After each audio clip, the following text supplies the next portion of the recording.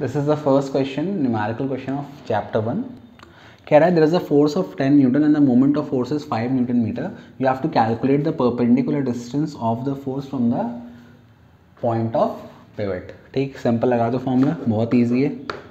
Torque is equal to F into D torque is five moment of force मतलब torque ठीक है? आपकी book में नहीं दिया बट ये वही होता है. तो कितना आंसर आ गया? Five by ten zero point five metre ठीक?